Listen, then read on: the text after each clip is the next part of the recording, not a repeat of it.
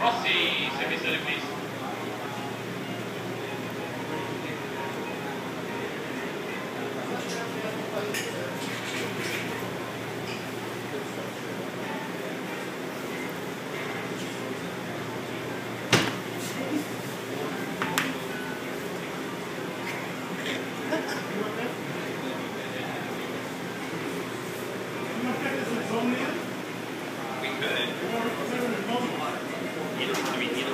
either one will sell.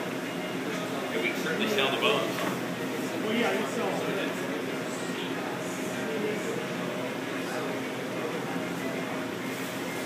Not as clean as it used to Well, when was the last time you did be.